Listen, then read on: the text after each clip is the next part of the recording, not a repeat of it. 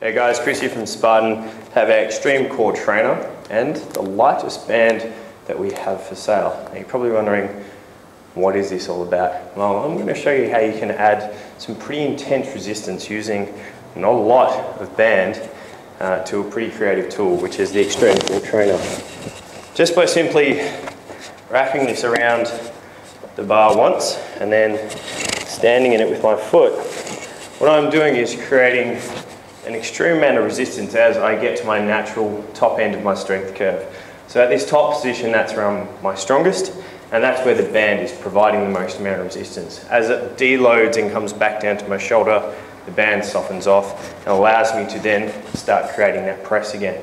So it's working with your natural strength curve. It also allows me to get quite powerful. So if I step back into a bit of a fighting stance, can really explode through that motion.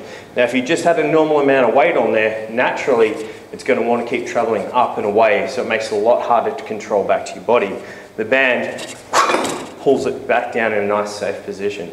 So it's a really cool and interesting way to start using your bands and the Extreme Core Trainer.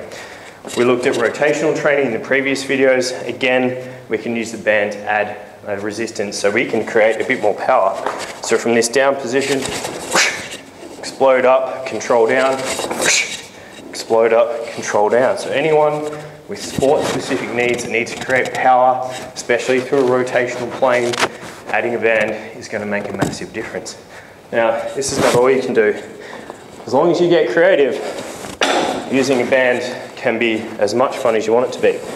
What I do have here is a super heavy kettlebell. It's a 48 kilo competition bell. And this is now going to provide diagonal resistance throughout these movements. Just by slipping it around the post again, when I go to do a normal press, naturally my hand wants to be pulled out to the side. Starts engaging all the muscles around my shoulder, rotator cuff, lat, rhomboid to stabilize. Otherwise, it pulls off to the side. So you're pressing through a diagonal range, which is hard to do anyway, now with resistance off to one side. Again, rotational training.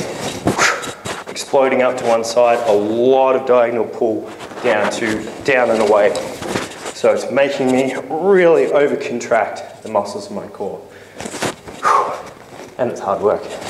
So if you're looking for a great way to make this amazing tool already with which has heaps of versatile a lot more interesting, you can add a band of whatever weight you like. You can find them, the complete range, at kettlebells.nu.